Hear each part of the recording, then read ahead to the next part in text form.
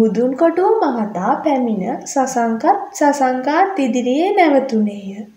ලොකු පුතා මුදුන් කොටුව මහතා කතා කළේ මෘදු හඬිනි. සසංකාත් සසංකත් ඔහු දෙස බැලුවේ පුදුමයෙනි. තාත්තේ මේ කෙල්ල ඔහු එසේ කියා කතාව නවත්වා වන්දනා දෙස බැලුවේය. ඇගේ දෙනෙතින් ගලන කඳුළු සටසට ගා ටයිල් පොළොව මතට වැටෙමින් තිබිණි. මේ කෙල්ලව මේ ගෙදරට එක්කගෙන ආවාට ඔයාට පින්. ඒ කතාවට වන්දනා දෝතම මුවට තබා ගත්තේ ඇඬෙන්නට ආ නිසාය. සසංක අහිංසක සිනාවක් සහිතව ඇය දෙස බලා උන්නේය.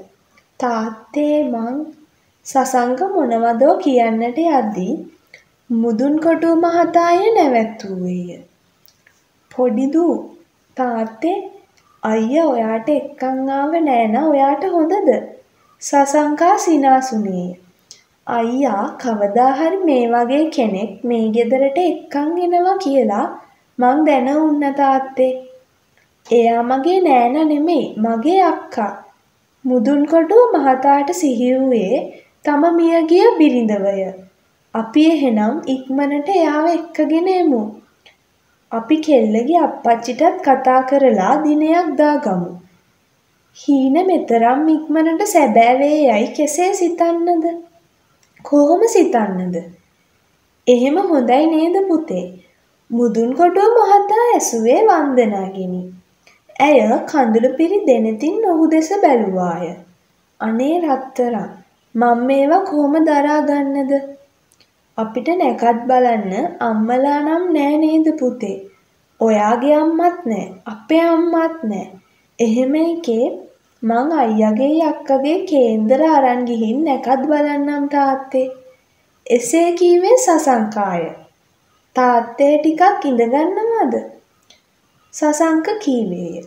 මුදුන් කොටුව මහතා ඔහු දෙස බැලුවේ පුදුමේනි.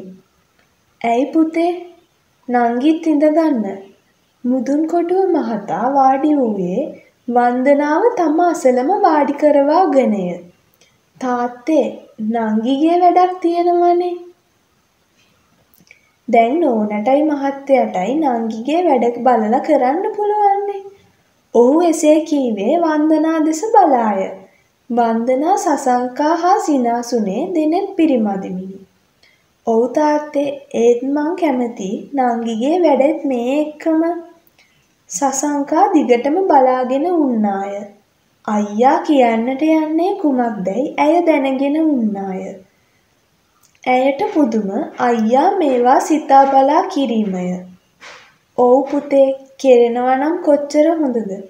ඒත් අපි කොහෙන්ද නංගිට සසංක මනමාල සිනහවක් සහිතව තම නංගී දෙස බලා උන්නේය. ඔහු කරන්නට යන්නේ කුමක්දැයි වන්දනා පවා දන්නේ නැත. නංගී කියන්න සසංක කීවේ විහිළුවටය. මං දන්නේ මුදුන් කොටුව මහතාට මෙය ප්‍රහෙලිකාවක් විය. තාත්තේ මං අපේ බබාට කෙනෙක්ව යෝජනා කරන්න කැමතියි. එයත් කැමතියි නම් තාත්තත් කැමතියි නම් අපි මේ වෙඩින් දෙකම එකට ගමු. සසංකාගේ ඇස්වල කඳුළුය. වන්දනා සිය අසුනින් නැගිට ඇය කරා ගියාය. සසංකා වන්දනාගේ උරතලයේ හිස ගසාගෙන ඇඬුවාය. ඒ හේතුවක් නැතුවය. කවුද පුතේ? එයත් තාත්තා දන්න කෙනෙක්. සසංක එසේ කියා තම ජංගම දුරකථනයෙන් අංකයක් එබුවේය. උඹ කොහෙද? ඔහු ඇසුවේ එයයි වන්දනාට යමක් නිකමට සිතුනි. ඔහු ගොත ගසමින් කීවේය. මුදුන් කොටුව මහතා දිගටම කොල්ලා දෙස බලා උන්නේය. තාත්තේ සසංක කතා කළේය. රන්තරු එකේ වැඩබාර දුන්නා. ඇස් දෙක වගේ බලාගත්තා. තාත්තට හිතෙනවා නම් ජීවිතයක් වුණත් මූට බාර දෙන්න පුළුවන් කියලා. රුවන්ගේ උගුරකට වියලෙනි. දෙවියනි මේ සිදුවන්නේ කුමක්ද? එකවරම සසංකාට ඉක්බිඳුනි. ආදරයේ ප්‍රථම හීසර පහරින් තුවාල වූ ලොව සෑම කෙල්ලෙකුගේම හදවත මෙන් මේ කෙල්ලගේ හදවතද ආදර බරින් බර වී ඇත. අනේ වන්දනා කෙල්ලගේ හිස අත ගාමින් ඇයව පපුවට නමාගෙන උන්නේය.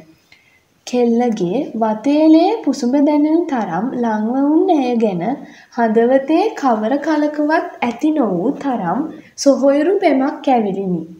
චූටි දූ මුදුන්කොටුව මහතා කතා කළේය. හිස එසෙව්වේ අඬමිනි.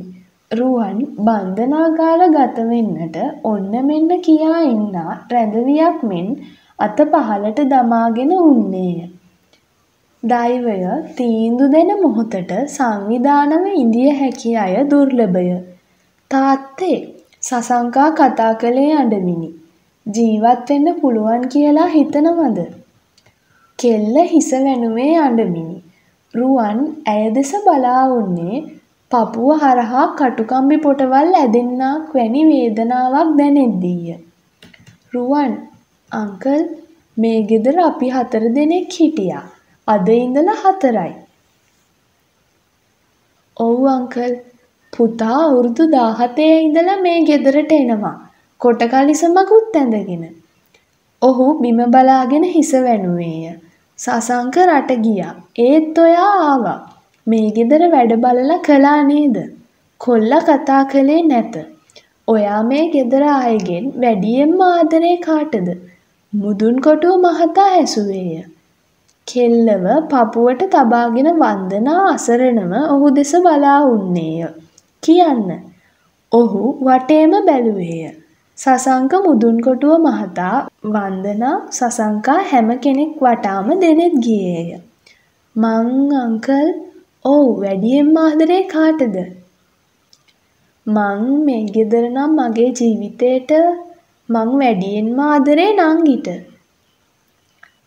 ඔහු මුදුන්කොටුව මහතාගේ දෑස් දෙසම බලාගෙන කීවේය. කෙල්ලගේ හැඬුම වැඩි විය. ඔහුට ජීවිතේ ප්‍රථම වරට ආදරේ කියන්නට වූයේ හැම කෙනෙක්ම මැද්දේය. මුදුන්කොටුව මහතා සෑහෙන වෙලාවක් බලා උන්නේය. කිසිවෙක් කතා කළේ නැත. මුළු නිවසම නිසලය. ලොකු පුතේ තාත්තේ සසංක තාත්තාගේ දෑස් දෙසම බලා උන්නේය. මෙච්චර ආදරේ නම් අපි කොල්ලට නංගිව දෙමු. ඔහු මෙතෙක් වෙලා වුන් මුහුණේ රුව වෙනස් කර සිනාසේ කීවේය. එවර ඇඬුවේ වන්දනාය. රුවන් සසංක පිටුපසින් ඔහුගේ කාමරයට ගියේය.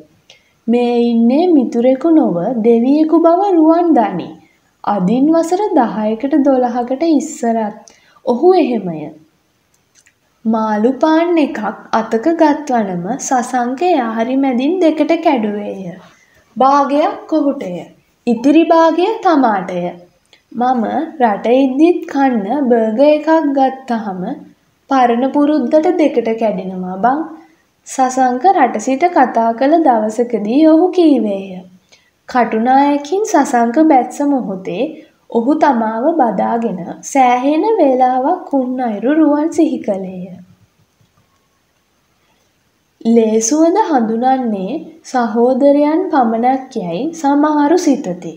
එහෙත් මේවැනි උතුම් මිතුරන් එක බඩවැල කඩාගෙන ආ සහෝදරයන්ට වඩා උතුම්ය. සසා කාමරයට ගිය පසු රුවන් සසංකට දනෝබා වඳින්නට ගියේය. කොහොමත් ඔහුට වැන්දට පව් නැත. උඹට පිස්සුද මචං? සසංක ඔහුව දෑතින්ම එසෙව්වේ තෙත් වූ දෑස් හංගා ගනිමිනි. මට මේ දුන්න හැම දෙයකටම මං සසා උඹට නැත කියන්නට හිතනා දෙයක් ඔහුට කියවෙන්නේ නැත. ඇත්තටම රුවන් ඇඬුවේය. පොඩි දරුවෙකු මෙන් ඉකිමිදිමින් ඇඬුවේය. මේ යාළුවන් දෙදෙනා දෙස දොරකඩ ඉඳ බලා වුන් වන්දනාගේ දැස් තෙමී ගියේ පුදුමාකාර ලෙසිනි. කෙල්ලව හොඳට බලා ගනි. අම්මා නැති කෙල්ල. සසංක කීවේ දෑස් හංගාගෙනය. ඔහු කොතරම් උතුම් සහෝදරයෙක්ද? තමාට අද සන්තකයටම හිමි වූයේ ඔහු නොවේද? මේ ජීවිතේ උඹලා එක්කම ගෙවනවා සසා. නංගි විතරක් නෙමේ උඹව වන්දනා නංගිව අංකල්ව උඹේ පැටව් ටික ඒ ඔක්කොම මං බලා ගන්නවා සසා. රුවන් ඔහුගේ උරතලය මත සුරත තබා එය සෙලවුවේ සහෝදර ප්‍රේමයෙනි. මං උඹ ගැන දන්නවා. උඹ වගේ කෙනෙක් මගේ නංගීට ලැබුණේ ඒකිගේ පිනක් තිබ්බ නිසා. ඔහු කීවේ නිහතමානී ලෙසිනි.